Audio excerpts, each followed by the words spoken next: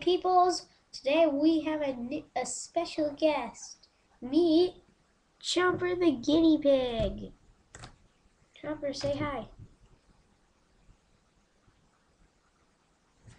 Yep, I just got a guinea pig, and my sister just got a puppy. We're getting a lot of new pets. But his name's Chomper. He's a little guinea pig. Um, he's a male.